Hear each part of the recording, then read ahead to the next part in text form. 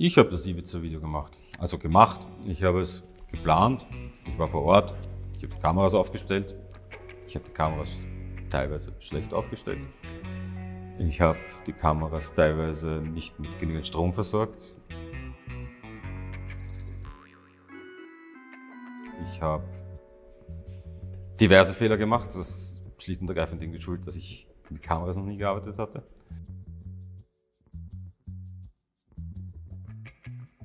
Also, ich muss vielleicht vorausschicken, und das mag etwas enttäuschend sein, ich habe von allen Operationen in der Richtung, die ich durchgeführt habe, war die wahrscheinlich der, eine der am wenigsten geplantesten. Also es war, ich habe schon weitaus komplexere, weitaus dichtere, weitaus besser gestrickte, weitaus professioneller aufgebaute, weitaus besser mit Backstories versorgte, legendierte, wie auch immer was Geschichten gebastelt. Diese Geschichte war eine Geburt aus einem, aus etwas, was ich eigentlich anfänglich nicht sonderlich ernst nahm, was sich zu etwas entwickelt hat, was ich sehr ernst genommen habe, worüber ich bereit war, meine Existenz zu riskieren, um nicht vielleicht zu sagen, alles andere auch noch. Ich habe tatsächlich eine Idee gehabt, eine Idee, die mich schon davor umgetrieben hat, nämlich dass Russland oder russische Kräfte, wie ja von mir aus auch ähm, russlandfreundlichen äh, Akteuren Einfluss nehmen auf die europäische Politik, speziell auf die rechtspopulistischen Seiten der europäischen Politik. Dabei will ich fairheitshalber dazu sagen, dass ich durchaus auch äh, hinter der Kritik stehe, die man manchen linken Parteien zuordnen kann, was das angeht. Richtung KPÖ, die Linke, sonst was. Also ich will jetzt hier nicht so tun, als ob nicht auch dort Problematiken bestanden hätten oder als ob die Russen ein besonderes Faible für Rechtspopulismus hätten. Ich glaube, es lag einfach schlicht und ergreifend an dem Erfolg des Rechtspopulismus, der halt einfach den besseren, also das bessere Pferd war. Ich bin der Überzeugung, der anhaltenden Überzeugung, dass spätestens 2012, 2013 massive Bemühungen in nachrichtendienstlicher Qualität gesetzt wurden, in Europa Einfluss auf politische Entscheidungsträger zu nehmen. Wir im Idealfall Geldgeschenken, korruptiven Handlungen etc. Und dass Europa aufgrund unserer Kultur und wie wir mit den Werten, die wir haben, umgehen, ein weitaus weicheres Ziel war, als es zum Beispiel Amerika war. Und es gab auch eindeutige Tendenzen, die vermuten ließen, dass genau das auch die Idee war. Es gab diese, ähm, dieses Institut, das dann Steve Bannon für den, für den, äh, den Zusammenschluss des europäischen Rechtspopulismus gründete in Norditalien. Es war eindeutig, dass die rechtspopulistischen Parteien äh, verstanden hatten, dass wenn sie sich vereinigen würden, ihre Erfolgschancen massiv steigen würden und ihre Streitereien begraben würden. Es war deutlich, dass äh, dann, um ins spätere oder ins nähere Zukunft zurückzugehen, äh, Vergangenheit, Entschuldigung, zurückzugehen, äh, Richtung 2019 die Europawahl dann auch, äh, wo es schon fast akzeptiert worden war, dass die rechtspopulistischen Parteien im Europaparlament zweitstärkste Kraft, vielleicht sogar stärkste Kraft werden könnten. All das war äh, das, was mich bei der Thematik und bei der Art und Weise, wie ich diese Legende gebaut habe und strukturiert habe, motiviert hat. Der Ursprung der Geschichte ist, ich war bei einer Firma quasi als Externer beschäftigt, ähm, die sich mit, ähnlich wie meine Firma danach, mit Sicherheitsfragen beschäftigt, speziell mit der Beratung wirtschaftlicher Klienten, Konzernen etc. Diese Firma war in ihrer Professionalität nicht annähernd das, was ich für meinen guten Standard hernehmen würde. Aber ich habe zwei, drei Projekte für sie betrieben, erfolgreich betrieben. Äh, das hat der Firma trotzdem allem nicht geholfen, nicht in Konkurs zu gehen am Ende, weil ihr Geschäftsführer einfach äh, nicht das nötige Rüstzeug hatte, sage ich einmal. Dieser Herr Wandel stellte mir 2015, im Frühjahr 2015, einen Anwalt vor, Herrn Dr. M., in einem italienischen Restaurant im ersten Bezirk in Wien. Der Tag endete kurioserweise in demselben Lokal, in dem knapp eineinhalb Jahre später das Ibiza-Video, die Idee entstand. So lernte ich Herrn Dr. M kennen, bei einem Mittagessen und über ein paar Drinks danach am Abend. Ähm, wir hatten beide recht schnell eine recht abfällige Meinung vom Herrn Wandel später, aus diversen Gründen, über die wir uns gegenseitig ausgetauscht haben. Und ich, wir haben gemerkt, wir denken entlang derselben Linien, was Prinzipien, Werte, Einschätzungen angeht. Ähm, das hat dazu geführt, dass ich Herrn Dr. M dann beauftragt habe, wie ich meine Firma schon gegründet hatte, das war auch ebenfalls im Jahr 2015 früher, einen Klienten von mir zu betreuen. Und er dann wiederum im Gegenzug auf mich zurückgegriffen hat, um ein paar Mandanten von ihm zu beraten. So entstand eine berufliche wie private Freundschaft. Und im Folge dieser Freundschaft über wiederum, wir haben regelmäßig konferiert miteinander und das Konferieren, nachdem unsere Arbeit getan war, endete regelmäßig irgendwo bei einem Absacker-Drink in irgendeiner Bar in der Umgegend seiner Kanzlei. Ähm, das war nett, das war ganz cool. Und bei diesen Gelegenheiten haben wir halt auch Anekdoten ausgetauscht. Er war recht interessiert an dem, was ich tue, weil das halt für den meisten Menschen so komplett äh, Terra Incognita ist. Und ähm, war halt auch, wie die meisten anderen Menschen, muss ich auch dazu sagen, sehr interessiert an Geschichten aus diesem, diesem Umfeld. Das sind meistens Geschichten, die sich sehr gut erzählen lassen, die sehr, sehr gut wiederzugeben sind und die Leute sehr amüsieren. Eigentlich sind es meistens keine sehr schönen Geschichten, wenn man sie in der Realität betrachtet. Aber die Leute hören sowas gerne und es ist unterhaltsam. Weil sie es nicht kennen, weil es neu für sie ist, weil es interessant ist. Und er wollte dann in dem halt nicht nachstehen und hat auch äh, Geschichten zum Besten gegeben, soweit er das halt konnte, anhand seiner Verschwiegenheitspflichten.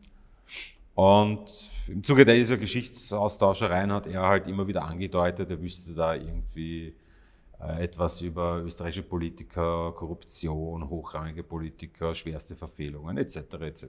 Und im Zuge eben dieser Sachen kam eben Herr Dr. M immer mehr und mehr und mehr heraus mit seinen, seinen Informationen. Es war dann recht bald für mich ersichtlich, dass es sich wohl um Strache handeln müsste. Jetzt nicht sonderlich, ich wusste, wer Strache ist. Kann nicht sagen, dass ich ihn sonderlich, ich fand ihn ähnlich wie alle Rechtspopulisten recht plump. Wir kommen jetzt dann irgendwie in den Spätsommer 2016 hinein, hatte dann nach Rücksprache mit seinem Mandanten, damals wusste ich auch noch nicht, wer das ist, äh, sich die Erlaubnis geholt, mir Material zu zeigen. Ich habe das Material begutachtet. Das Material waren eine Vielzahl an fotokopierten Ausdrucken, großteils von Chatnachrichten, äh, Spesenabrechnungen und äh, bekannterweise Fotos von mit Bargeld gefüllten Taschen in einem Kofferraum eines Wagens. Die Chatnachrichten waren wohl pikant, sage ich einmal, äh, aber wohl jetzt nicht das, was. Also es waren so Dinge wie, die halt schlecht zu einem Rechtspopulistenvertreter des kleinen Mannes passen, wie komm, kauf mal irgendwie zwölf Flaschen Champagner, Preis macht nichts oder bestell mal ein S-Klasse AMG, aber schau, dass kein AMG-Emblem drauf ist, das kommt schlecht oder ähm, kannst du mal schnell ein paar Viagra mitbringen, hab keine mehr oder keine Ahnung, so in die Richtung, die halt einen Lebensstil vermuten ließen, der sich schlecht in Einklang bringen ließ mit der öffentlichen Darstellung, die Herr Stache und seine, sein Umfeld so pflegten. Und dann gab es eben die Geldtaschen, die für mich das eigentlich Interessanteste waren. Die Geschichte dazu war auch recht ergiebig, allerdings belegten die Fotos leider nichts. Es war also eine Sporttasche in einem Kofferraum, gefüllt mit Bargeldscheinen, würde sie auf, ging das zwischen 50 und 200.000 Euro schätzen erfahrungsmäßig, äh, von der Höhe der Stapelung etc. Ähm, die Geschichte dazu ging so, dass der Mandant behauptete, dass dieses Geld ursprünglich von ostukrainischen Geschäftsleuten äh, an Herrn Strache herangetragen worden wäre, um ein Mandat zu kaufen, ein Nationalratsmandat für einen gewissen Herrn Schellenbacher. Äh, das hört sich auf den ersten Moment jetzt komplett verrückt an und schwer illegal und oh mein Gott, äh, Parlamentssitze verkaufen an ostukrainische Oligarchen, äh, wo sind wir? Tatsächlich, äh, hold your horses, es ist legal in Österreich. Ähm, man darf Parlamentssitze verkaufen, man darf sie auch kaufen.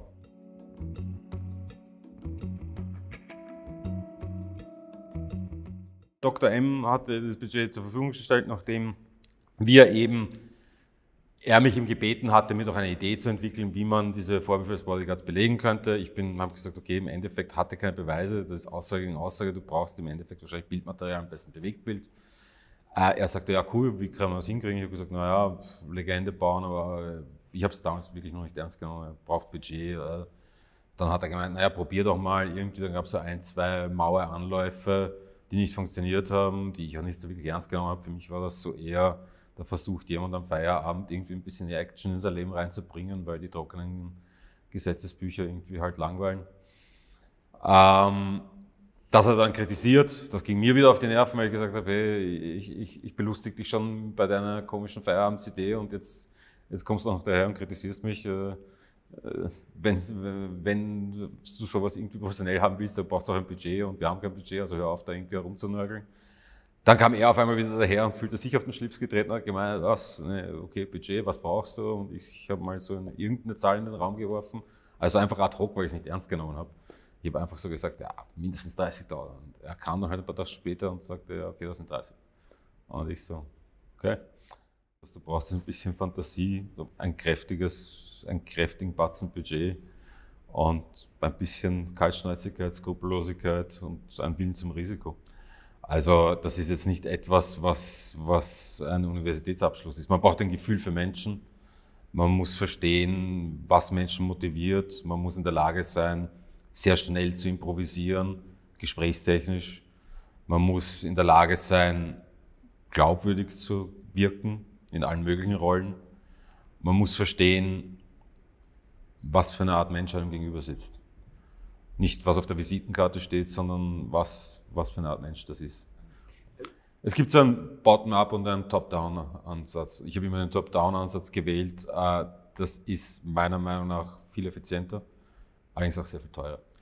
Was meine ich mit Top-down ist, man kann entweder sich, was die meisten Behörden machen, äh, sich von unten nach oben eine Kette hocharbeiten das funktioniert meistens nicht so wirklich gut, weil äh, Leute oben wollen mit Leuten unten meistens wenig zu tun haben. Die kennen sich zwar, weil sie irgendwie aufeinander angewiesen sind, aber die wollen nicht irgendwie mit denen wirklich in Kontakt kommen. Das ist eine andere Liga. Ähm, wenn man von oben allerdings hinabsteigt, kommt man mit jedem in Kontakt, weil oben die Leute wollen mit ihresgleichen zu tun haben und jeder unten ist happy, wenn er mit Leuten oben in Kontakt kommt. Also super. Es ist nur teuer, man muss nur glaubhaft den Top mitspielen können. Und das benötigt halt einiges an Staffage. Also ich hatte zu dem Zeitpunkt 30.000 in der Hand, ich hatte keine Oligarchin, ich hatte nichts. Ich hatte 30.000 und da gibt es jemanden, der Kontakt mit Putinus hat. Mach was draus.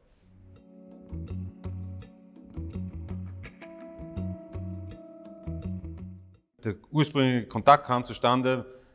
Maklerin kontaktiert auch mal den Gutenus, der hat Ländereien, das weißt du nicht, aber wir wissen das. Und wir haben eine Oligarchin, die hat fürchterlich viel Kohle. Das ist irgendwie, das muss investiert werden, am besten in Westeuropa, weil dort, wo es jetzt liegt, liegt es irgendwie unruhig.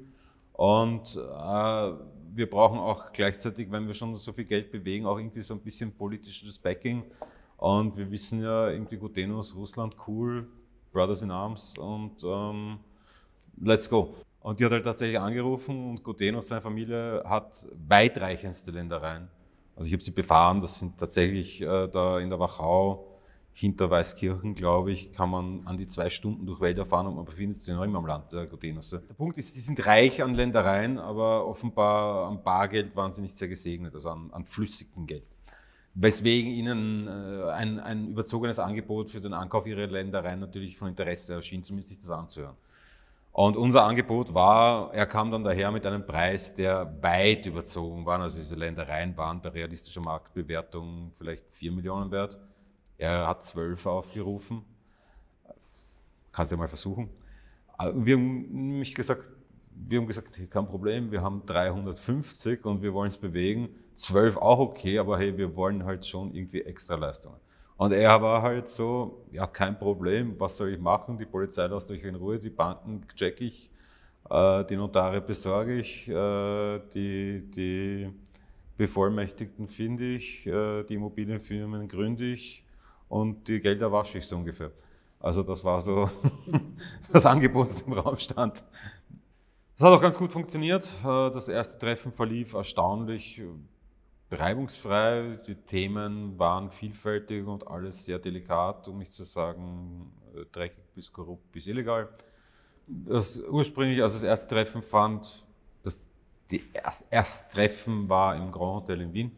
Dort hatten wir einen Privatraum gemietet, die Rotunda. Das ist ein sehr pompöser, beeindruckender, kreisrunder Raum mit Deckenmalerei, einem runden Tisch.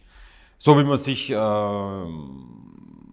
russische Mafia-Filme aus den 90ern vorstellt, so ungefähr. Also schwere Tapeten, äh, Butler, die die Türen öffnen, äh, schwere Holztisch, rund, äh, Wandmalerei, Fresko auf der Decke. Kostet auch eine Lawine. Also alles sehr trara. Wir haben für Bodyguards gesorgt natürlich, die vor der Tür gewartet haben. Ein Maybach, der vorfährt. Ein dementsprechendes Outfit für diese Oligarchen mit Klunker und Rolex und teure Kleidung und was auch immer halt so dazugehört, um zu vermitteln, dass man Geld zum Wegwerfen hat. Dann ging es weiter von diesem Grand Hotel in äh, so eine Skytop Bar in einem anderen Hotel. Dort wurde wiederum groß aufgetischt. Ähm, dort hatten wir auch eine Suite angemietet. Die hatten wir auch bestückt mit Kameras oder Kamerasystemen. Mir wurde danach mitgeteilt, die sind in dieser Suite auch. Äh, der Herr Gudenos, des Oligarchins, sein Bruder, der auch dabei war, hätten dort wohl auch äh, gemacht, was auch immer sie äh, sonst mutmaßlich so machen. Der Herr Gudenos soll durchaus äh, zudringliche Avancen gegenüber der Oligarchennichte gemacht haben, die ihr missfallen haben, worauf sie mich kontaktiert hat und äh, gemeint hat, what the fuck, ähm, wer glaubt da, was er ist, kommt sofort zurück. Der glaubt, er kann da keine Ahnung was. Daraufhin kam ich wieder zurück. Dann ging es weiter in den Volksgarten. Auch dort großes Trara, ähm, haben möglichst dicke Hose raushängen lassen, Leute von ihren Tischen verscheucht, äh, Bodyguards durch die Menge drängen lassen, irgendeinem komischen Rapid-Fußballer 2000 Euro in die Hand gedrückt, damit er seinen Tisch leer macht für uns.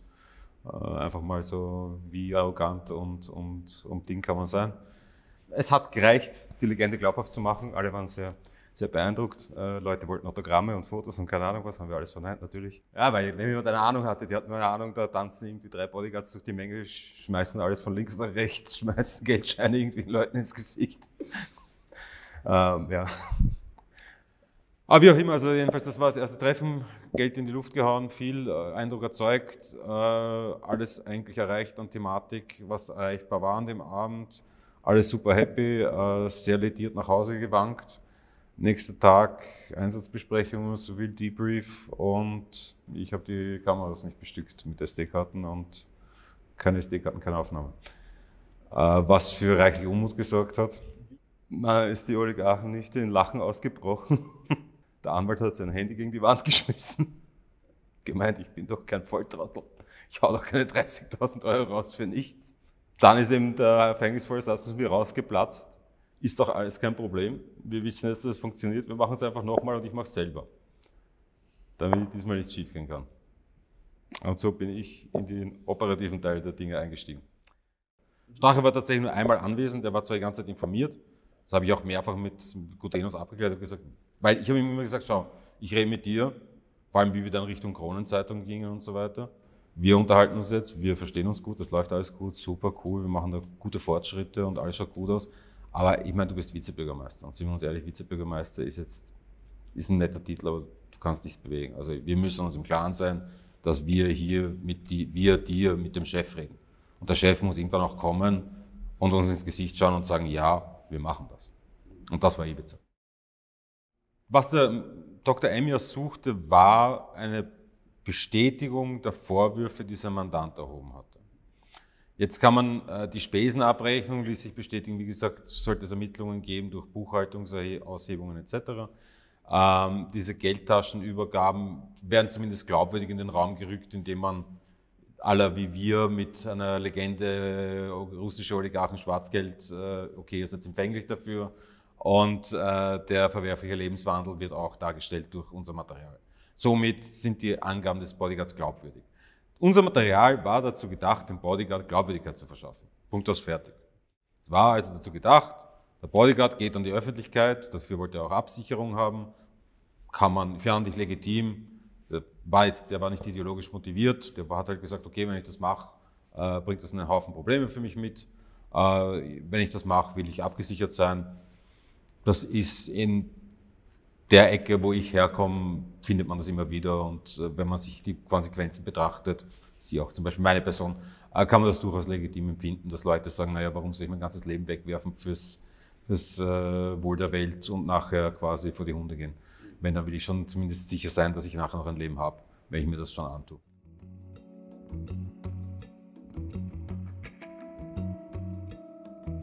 An dem Abend also, sehr spät an dem Abend, Vertrag nicht unterzeichnet, kommt dann aus dem Nichts heraus, hey, warum überlegen wir die ganze Zeit, wo wir irgendwie 10 Millionen in welches Immobilienprojekt investieren können?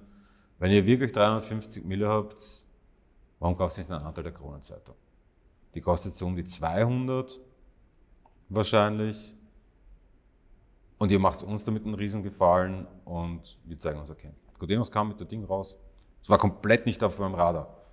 Und mir war natürlich recht schnell klar, äh, okay, wir reden über was ganz anderes jetzt. Jetzt sind wir, wir sind gerade gegangen irgendwo von haha, hihi, ho, ho, äh, Politik ist korrupt und was soll's, jeder weiß es, zu, okay, wir reden über Europa relevante politische Entwicklungen. Wir haben also jetzt mit dieser Kronengeschichte, diesmal ist zumindest audiotechnisch und halbwegs videotechnisch der Abend gut gebannt. Die Themen sind mehr als brisant. Wir sind erfolgreich. Strache ist noch nicht dabei, aber wir sind erfolgreich. Und jetzt, wir reden jetzt hier von Wahlkampfmanipulationen eines europäischen EU-Landes zu Zeiten eben der ganzen Trump-Geschichte etc., wo äh, sämtliche westliche Geheimdienste Interesse daran haben etc. etc. Herr Dr. M. ist Perser. Äh, Perser und westliche Geheimdienste sind nicht das, was man als gute Freunde bezeichnet. Ähm, ihm wird also bewusst, dass er jetzt auf einem Spielfeld agiert und ich sage es ihm auch, dass ein ganz anderes Niveau mit sich bringt und auch ganz andere Konsequenzen mit sich bringen kann. Und das Zweite ist, dass ihm klar wird, dass diese Treffen auch einiges an Geld verschlingen und vor allem, wenn es jetzt dann auch ins Ausland gehen soll, und die Kulisse, je mehr man sich kennenlernt, desto mehr muss man die Kulisse stützen, desto teurer wird es. Auch das habe ich ihm, glaube ich, direkt gesagt, dass es ab jetzt nur mehr teurer wird. Also die Zeiten, wo wir irgendwie 1000 Euro Wodkaflaschen am Tisch hauen, sind vorbei. Jetzt müssen wir Limos, Privatjets, Villen, was halt dazu gehört und das kostet. Es ist gut und richtig, manche Dinge ausführlich mit Backup und Backbackups und äh, allem Möglichen zu planen. Und manchmal muss man einfach das Momentum nutzen. Und das war so eine Situation. Das war so eine, jetzt ist der Moment, wo niemand zu viel nachdenken darf. Wenn die zu viel nachdenken, ist ihnen klar, worüber wir hier reden und sie fangen an, das zu tun, was sie schon längst hätten tun sollen, nämlich Checks zu rennen. Und unsere Legende ist nicht dicht genug, um den Stand zu halten. Und wenn wir zu viel darüber nachdenken, kriegen wir zu viel Schiss und machen es nicht. Jetzt müssen wir in Bewegung bleiben. Jetzt zählt es nicht, wie gut ist es geplant, wie gut ist es organisiert, sondern jetzt zählt es nur Move, Move, Move, Move, Move. Wir brauchen eine Villa in Ibiza, wir brauchen eine Limousine in Ibiza, wir brauchen, und er hat gesagt, äh. Und er hat gesagt, was kostet das? Und ich habe gesagt, 100.000 Minimum. Er hat gesagt, nee, geht nicht mehr. Und dann habe ich mir irgendwas einfallen lassen müssen, wie wir mit weniger eine Oligarchin in Ibiza darstellen. Und das hat dazu geführt, dass, was heute so oft bekrittelt wird, dass irgendwo in der Pampa irgendeine kleine Finca für eine Oligarchenvilla herhalten müsste. Aber das war nicht so, weil die Legende war einfach gut genug improvisiert, um das abzudecken. Weil ich einfach gesagt habe, hey, die hat ihre Kinder in ihrer Villa und die hat keinen Bock, irgendwie euch Typen zu ihren Kindern zu lassen. Und deswegen hat sie halt irgendeinen Bekannten gefragt, der hat eine leerstehende Finca, die er gerade fertiggestellt hat. Wir waren tatsächlich die ersten Gäste. Es war ein Erstbezug quasi. Wir waren in der Lage, eine Limousine aufzutreiben, wir waren in der Lage, einen schnittigen Sportwagen hinzustellen. Ich war in der Lage, ein paar Kokoro-Lederslipper anzuziehen. Und Ibiza war Planung bis Ausführung 48 Stunden. Wir brauchen alles jetzt. Das hat dazu geführt, dass wir per Nachtbooten aus Kroatien Kameraequipment importiert haben, ähm, irgendwo in einem so einem Reisebüro, das bis 20 Uhr offen hat, Tickets gekauft haben und irgendwie Airbnb Druck gemacht haben, warum scheiße dauert das 48 Stunden eine ID zu verifizieren, macht es in 12. Ja, also das sind die Vorbereitungshandlungen zu Ibiza plus dieser berühmte, oder berühmte, aber dieser Termin mit Codenos im Coco Beach Club bei ein paar teuren Flaschen Weißwein, wo er mir seine, seinen Glauben an Energielinien, UFOs und Außerirdische darlegt. Und mir eben auch sagt, dass sie aus dem Kurzumfeld, das ist der relevantere Teil des Gesprächs, gewarnt worden seien, dass es Leute geben würde, die versuchen würden, die FPÖ mittels eines Videos hereinzulegen. Was mich natürlich einigermaßen pikiert, weil ich natürlich mir im Klaren bin, dass Leute, die versuchen, die FPÖ mittels eines Videos hereinzulegen, ich bin in der Zukunft, nämlich morgen, am nächsten Tag, in der besagten Finca, die ich gemietet habe und heute mit Kameras ausstatten werde. Was natürlich eine gewisse Nervosität bei mir hervorruft. Zum Glück kann ich mir relativ schnell einen Reim drauf machen, wie die Information zu Ihnen kommt. Und er scheint genug Vertrauen in mich zu haben, um mir diese brisante Info mitzuteilen, aber mich nicht im Verdacht zu haben.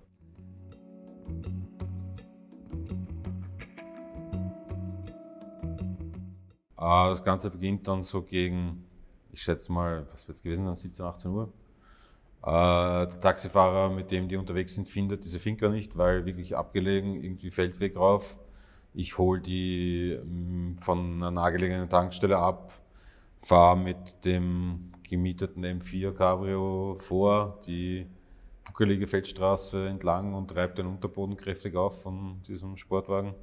Die treffen ein, wir haben noch eine Limousine davor geparkt, äh, die ich über einen Bekannten irgendwie organisieren könnte, die dann aber, also die quasi nur so Show-Effekt dasteht die dann abzieht. Äh, Bodyguards haben wir in gegenseitiger Absprache verzichtet, um möglichst hohe Vertrauens, äh, Vertraulichkeit sicherzustellen. Und der Abend beginnt mit Herr, Frau Godenos betreten das Grundstück, Herr Strache telefoniert nach draußen. Und das ist im Prinzip der Anfang der Aufnahmen von Ibiza mit der Terrasse, wo wir dann von Herrn Strache äh, sich dazugesellt und Begrüßungsdrinks genommen werden und erste Kennenlerngespräche stattfinden. Alles, was auf der Terrasse stattgefunden hat bei diesem Begrüßungsding, war Beschnuppern, Abtasten. Dann war das Abendessen. Das war so, die erzählen uns, wie großartig sie sind und wir hören zu. Und dann, wir gehen ins Wohnzimmer und sagen ihnen, interessiert uns ein Scheißdreck, eure Großartigkeit, wir wollen das und das und das. Und wir lassen euch hupfen, damit ihr uns beeindruckt. Und das war gepaart dadurch, dass diese Oligarchin absolut genervt war, dass sie extra sich Zeit nehmen musste, nach Ibiza zu fahren. Ähm, war das an dem Abend perfekt. Davor war sie immer freundlich reserviert.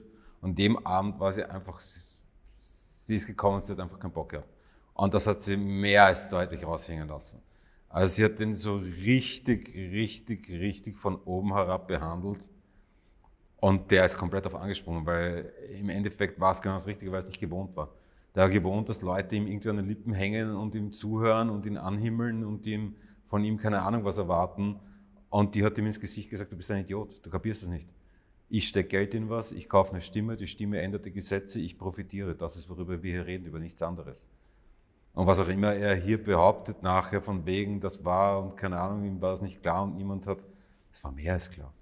Es wurde ihm en Detail praktisch, mehr ging nicht. Also, und er war halt, äh, es war deutlich, dass er mit sich gerungen hat. Also ihm war klar, einerseits, er will diesen Kronenzeitungsstil, das hat er auch deutlich gemacht, weil er sich davon erwartet und er hat die ganze Zeit halt versucht, schmackhaft zu machen, die Krone ist ein super Investment an sich. Ich brauche ja eigentlich euch nichts geben. Die Krone ist an sich schon mal geil. Und wir haben gesagt, nee, Kronenzeitung kennt, interessiert uns überhaupt nicht. Hier geht es nicht um die Kronenzeitung, das ist irgendein Blatt für uns vollkommen egal. Wir können irgendwo nach Kroatien gehen und unser Geld irgendwo reinbuttern und dann haben wir 10, 15 Prozent Return. Wenn wir es bei dir machen, wollen wir mehr als nur einen Return. Wir wollen was wirklich, was Greifbares. Und uns ist klar, du kannst uns keinen Vertrag unterschreiben, weil was soll drinstehen? Ich bin korrupt und lass mich kaufen. Nee. Aber wir wollen Handshake. Wir wollen Handshake darüber, dass wir dir an die Macht helfen und du uns dabei nicht vergisst. Und er hat mehr oder weniger halt immer gesagt, ja, das und das und das ist möglich, aber es muss halt alles legal sein hinterhergeschoben. Dass solche Sachen natürlich nicht legal gehen, ist was anderes. Es ist nicht möglich. Es ist nicht möglich, äh, legal einer Firma Aufträge wegzunehmen und sie jemand anderem fix zuzuschanzen. Es ist nicht möglich zu sagen, ja, du kriegst Staatsaufträge zum Überpreis. Das war eine der prägnantesten Sachen, die nicht veröffentlicht wurde, was ich, was ich eigentlich schade fand.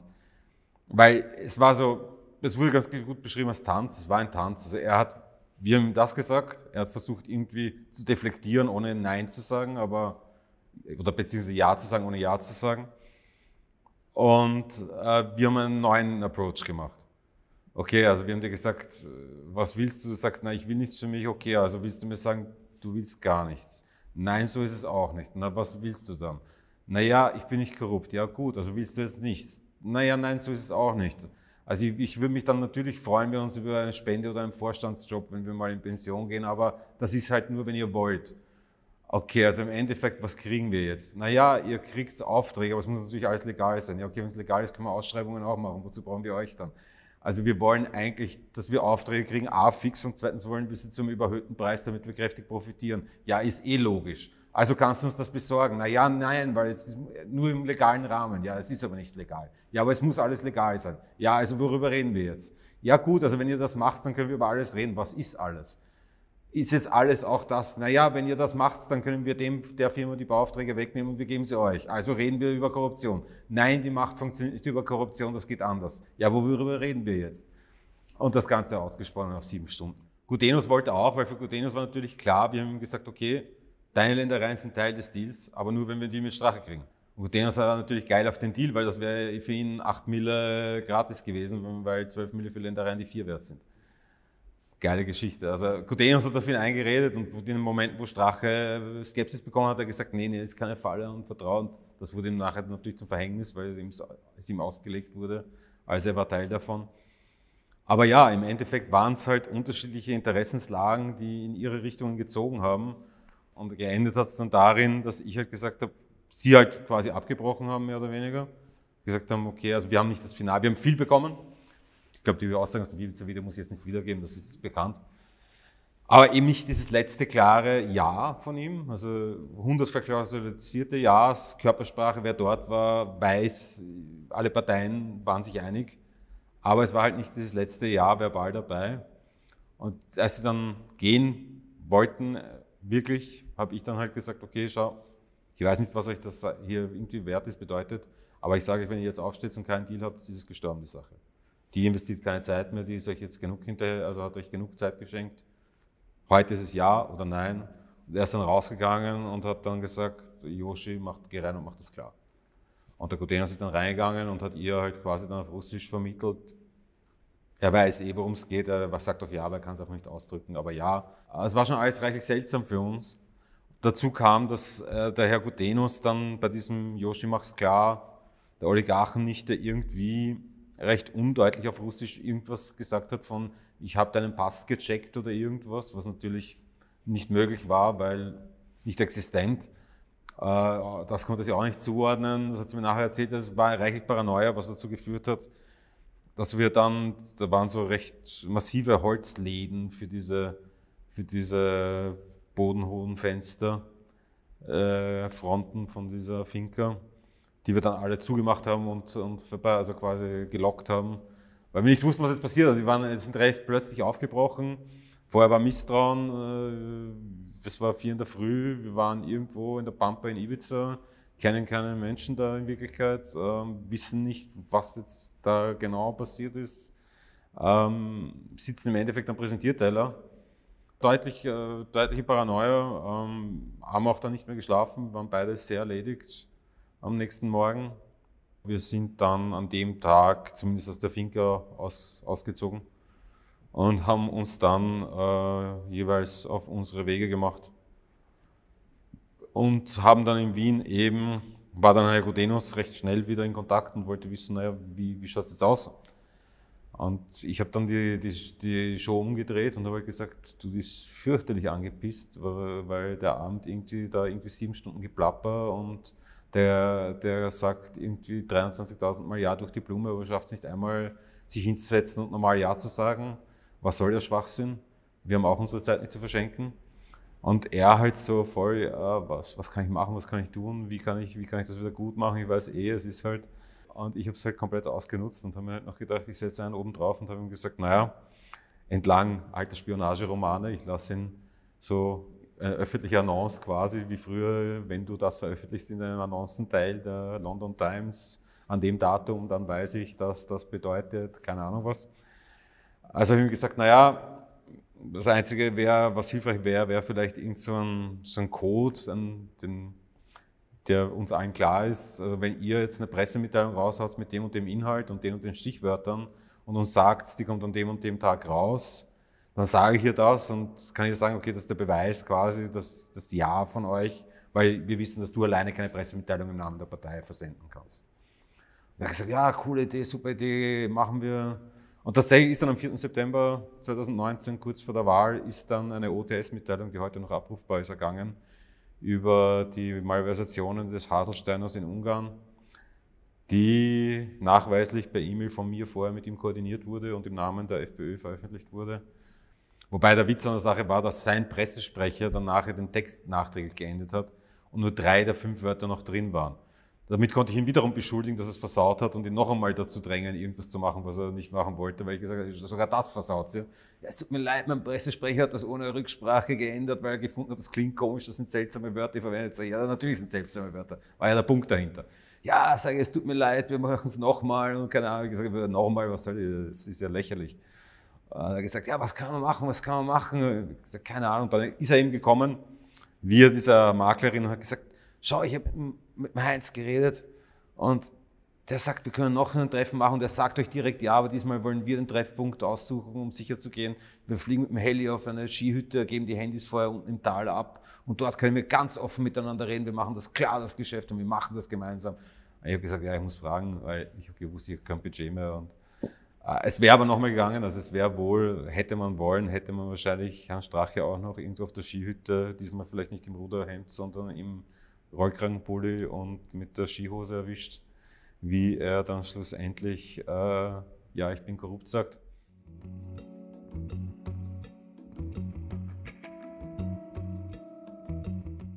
Aber dazu ist es nun mal nicht gekommen. Das sind Spekulationen. Äh, und dann habe ich den Kontakt anhand, wie gesagt, meines nicht vorhandenen Exits äh, einfach auslaufen lassen, was nicht sauber war.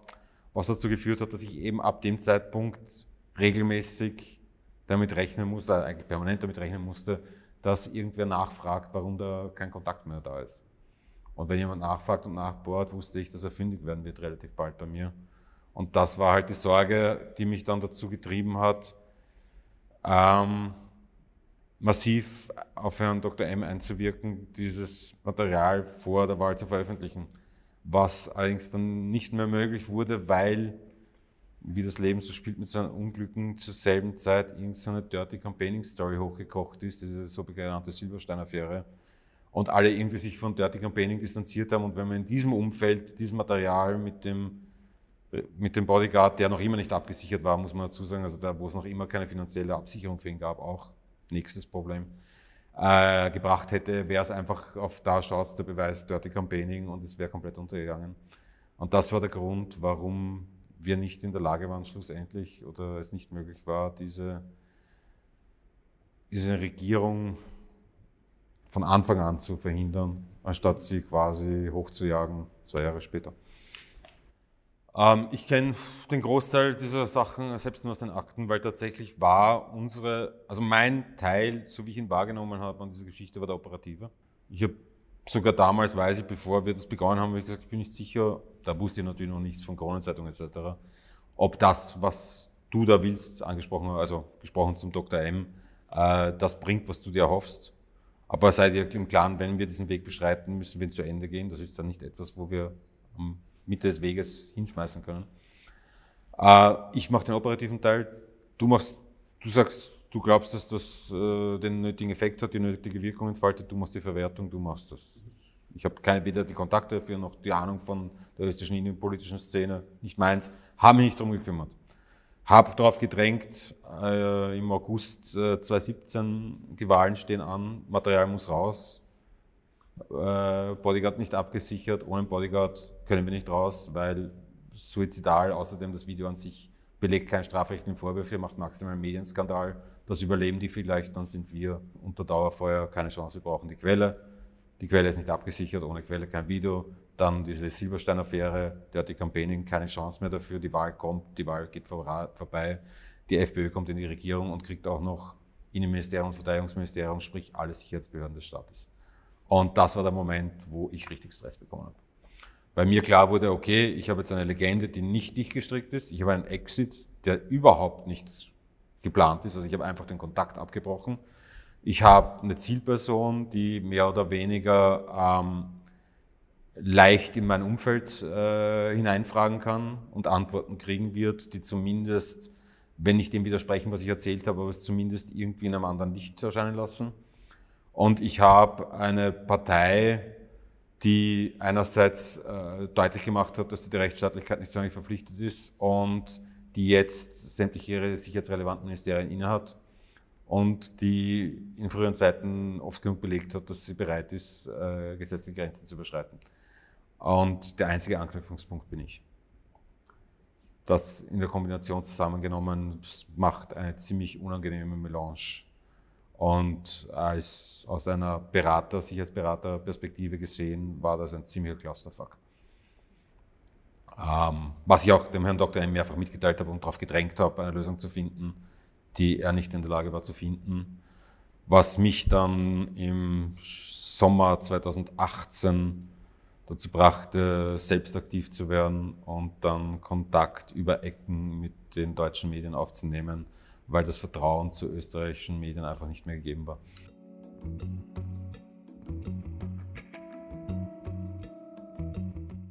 Ich war in einer Ferienwohnung, die mir ein befreundeter Anwalt vermittelt hatte, an einem See, knapp 30 Kilometer außerhalb von München, ich habe jetzt den Namen vergessen, irgendwas mit M. Ähm, und habe dort die Veröffentlichung auf zwei Fernsehen und drei Laptops verfolgt, inklusive den diversen Updates auf den diversen Kanälen. Ähm, es war erstaunlich befreiend für mich. Es war, als ob eine riesen, riesen Last von mir runterfällt, weil mir war zwar klar, dass ab jetzt große Probleme kommen, aber es war ein offener Kampf jetzt. Davor war es so ein Kampf gegen Schatten und jetzt war es einfach ein offener Kampf. Das war mir weitaus lieber. Es war klar, okay, das ist jetzt das, ist jetzt das und das sind die Gegner und was auch immer kommt, kommt jetzt, aber es ist nicht mehr dieses, passiert heute was, passiert morgen was, kommt da was, kommt da nichts, bin ich enttarnt worden, bin ich nicht enttarnt worden, das ist unglaublich anstrengend. Dort habe ich dann, ich glaube, so knapp zehn Tage verbracht. Ähm, habe diese Zeit genutzt, dann einen früheren Mitarbeiter von mir zwei, dreimal zu treffen, den ich als V-Mann vom BKA kannte, Mitarbeiter in Form von äh, freier Mitarbeiter, also Quelle eigentlich, ein Herr K., Slaven K. Ja. Ich spreche nicht von Behörden, spreche jetzt eigentlich immer von österreichischen, weil tatsächlich die deutschen Behörden sich kaum involviert haben. Habe den also getroffen im Wissen um seine V-Mann-Tätigkeit, weil ich vermutete, dass es zumindest ein massives Interesse an den Hintergründen geben würde und ich zwar nicht bereit war, die in Österreich den FPÖ geführten Innenministeriumsbehörden offenzulegen, aber mir durchaus klar war, dass ich mir und denen einen Gefallen tun würde, wenn ich ihnen zumindest eine, einen Ansatz, eine Variante von Überblick verschaffen würde und war recht offen mit dem. Äh, in meiner Informationsweitergabe, was die Ursprünge, die Motivation und die Hintergründe zu diesem Video befasste. Ähm, was ich nicht äh, vorhergesehen hatte, war, dass der in seiner Gier, wie man wahrscheinlich sagen muss, sich gleichzeitig an Medien wendete. Unter anderem und insbesondere wurde er wohl oder ein enger Bekannter von ihm kontaktiert von einem sehr rechtslastigen Internetblog, der betrieben wird von einem Novomatic-Lobbyisten. Novomatic ist ein, eigentlich der größte Glücksspielkonzern in Österreich, vielleicht sogar in Europa.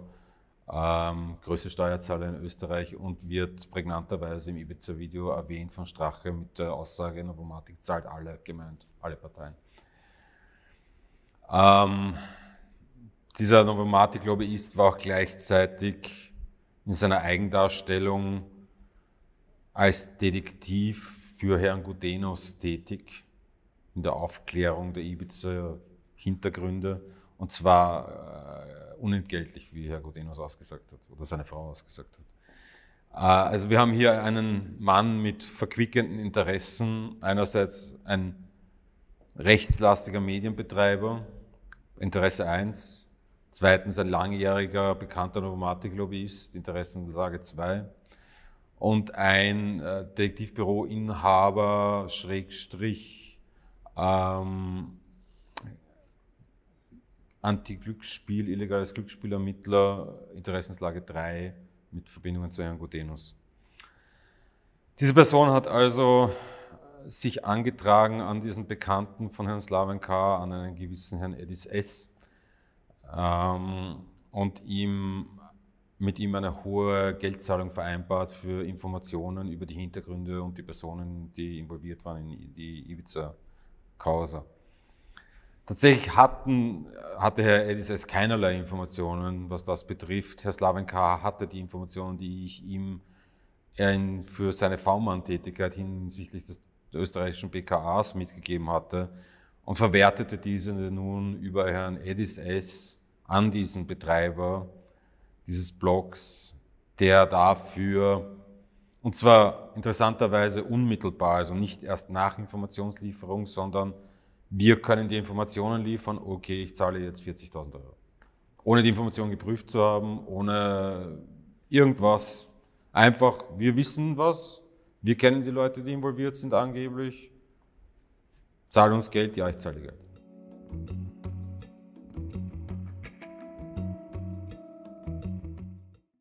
Dieser, dieser Blog versuchte sich dann als Aufdeckermedium zu zu verklären und äh, praktisch mit von den anfänglich richtigen, weil von mir gelieferten Informationen äh, musste dann umschwenken auf irgendwelche dahergelaufenen Gerüchte, die er zu Fakten erklärte was, und die er versuchte mit einem möglichst negativen Drall zu versehen um einerseits wohl mir medialen Druck aufzubauen, in der Hoffnung, dass ich mich ihm gegenüber kooperativ zeigen würde. Hat also über einen Zeitraum von knapp zwei Jahren fast wöchentlich Veröffentlichungen getätigt, die ich in einer Masse dann auf Unterlassung geklagt habe, was ihn allerdings nicht davon abgehalten hat, immer neue Schwachsinnigkeiten zu veröffentlichen. Da waren von, ich hätte eine Grasplantage in Salzburg betrieben, ich hätte Waffen gehandelt, ich hätte Frauen der Prostitution zugeführt. Ich wäre beteiligt an einem Mordanschlag in der Wiener Innenstadt. Ich wäre ein großer Drogenhändler. Ich wäre äh, Spion irgendwelcher ausländischen Dienste. Ich wäre was auch immer. Also eine Bandbreite, die das Strafgesetzbuch abdeckt, so ungefähr.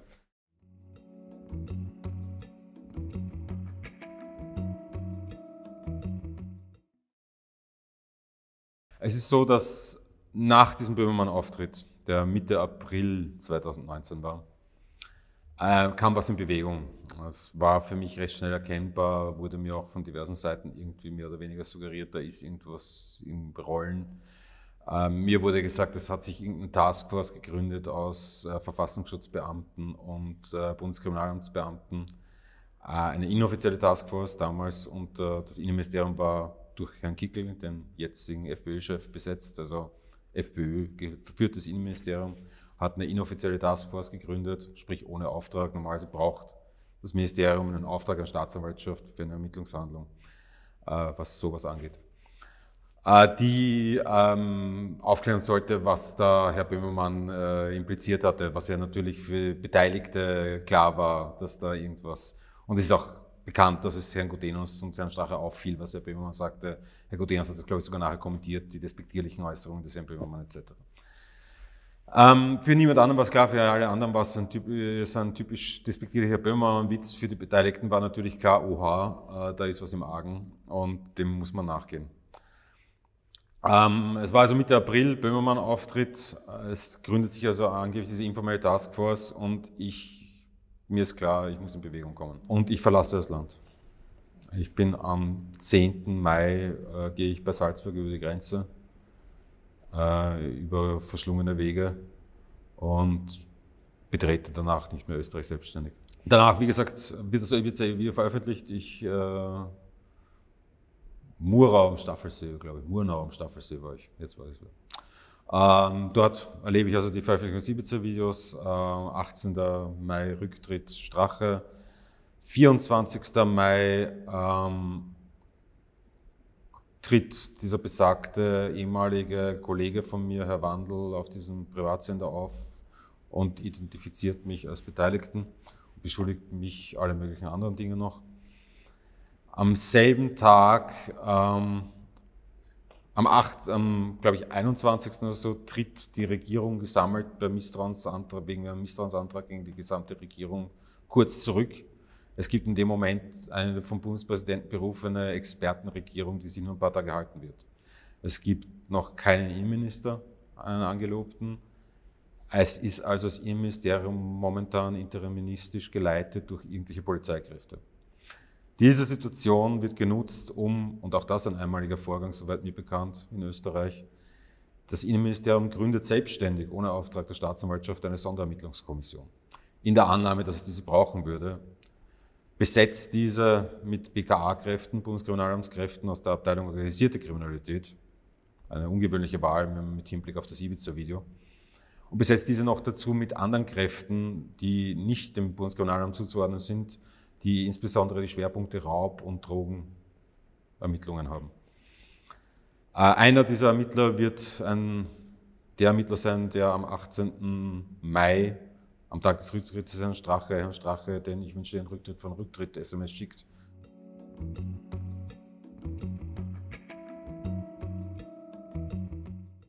Und danach über Monate weiterhin engen Kontakt mit ihm pflegt, der trotzdem nicht befangen sein soll und der auch der Erste ist, der die Erpressungs- und Drogenvorwürfe gegen meine Person erhebt.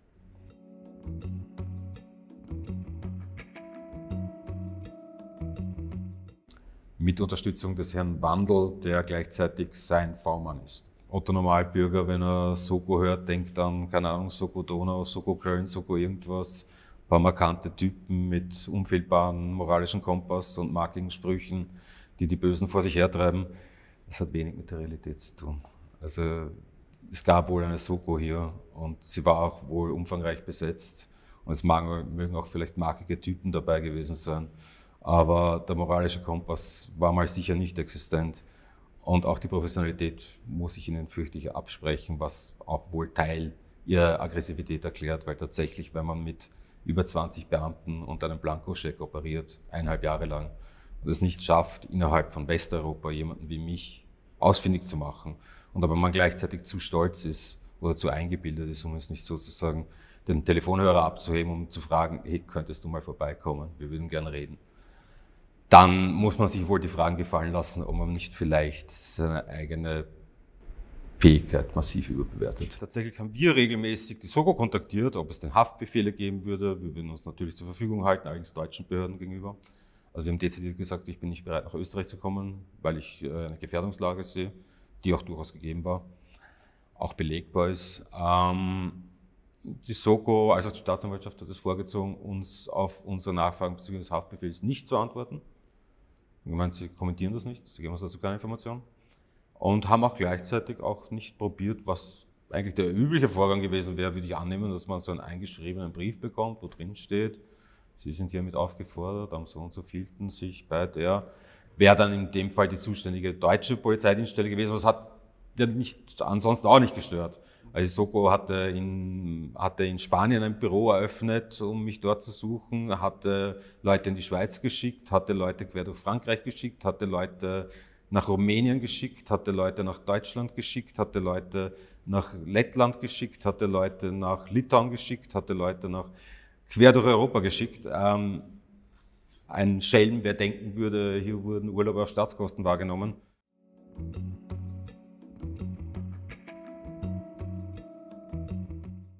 Aber ja, also es war jetzt wohl nicht das Problem, dass man sich irgendwie unsicher im Ausland gefühlt hat und deswegen äh, verabsäumt hat, äh, wir den ausländischen Behörden Rechtshilfe versuchen zu stellen. Die gab es, eine Vielzahl davon. Die ausländischen Behörden haben sie auch eher widerwillig erfüllt, weil keiner der ausländischen Behörden so wirklich klar war, was die Österreicher da äh, versuchen. Bis natürlich die Österreicher auf die grandiose Idee kamen, naja, hey, das ist ja nun mal, diese Videoaufnahme Ibiza ist, wird im Ausland irgendwie als legal gesehen, das ist irgendwie scheiße für uns, weil wir finden das komplett illegal, aber irgendwie glaubt uns das keiner sonst. Also nicht mal die obersten Gerichtshöfe in Deutschland haben das irgendwie und das ist alles so irgendwie, mm. Und alles andere ist auch irgendwie so ultra dünn und bringt nichts und die machen uns da irgendwie zum Depp.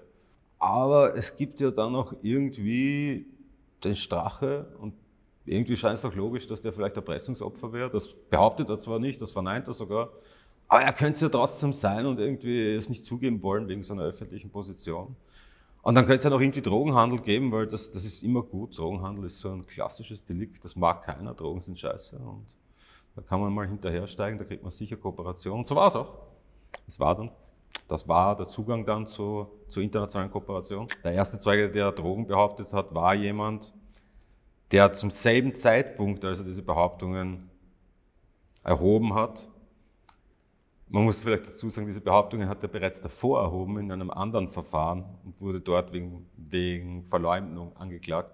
War zu dem Zeitpunkt unter Anklage wegen Verleumdung gegen meine Person und zwölf andere Personen.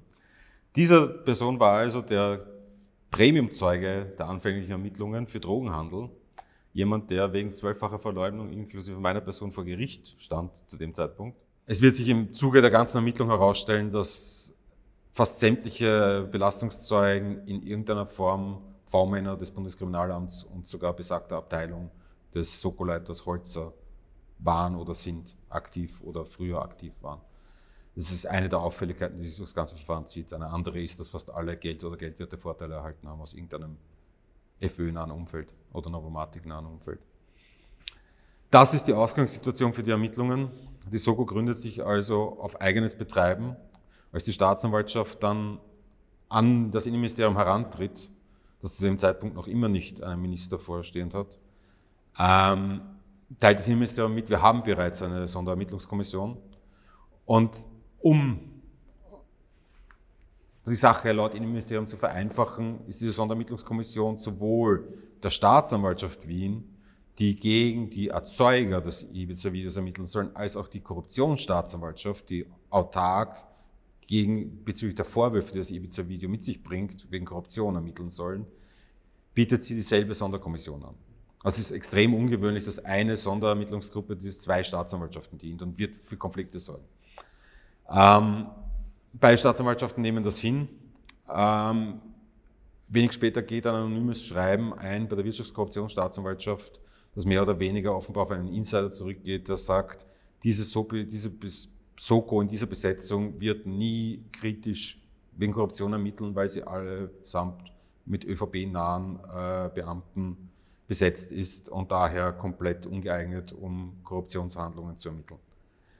Äh, die WKStA erhebt diese Vorwürfe gegenüber der Soko und bittet um Aufklärung, wie denn die Besetzung der Soko ist. Bis heute ist im Übrigen offiziell die Besetzung der Soko nicht einmal im Parlament dargelegt worden.